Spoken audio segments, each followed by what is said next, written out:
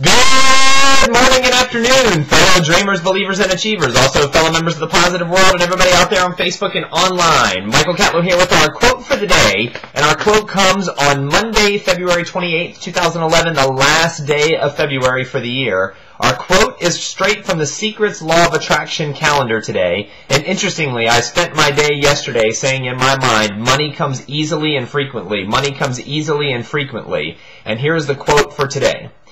To attract money, you must focus on wealth. It is impossible to bring more money into your life when you are noticing you do not have enough, because that means you are thinking thoughts that you do not have enough. Focus on not enough money and you will create untold more circumstances of not having enough money.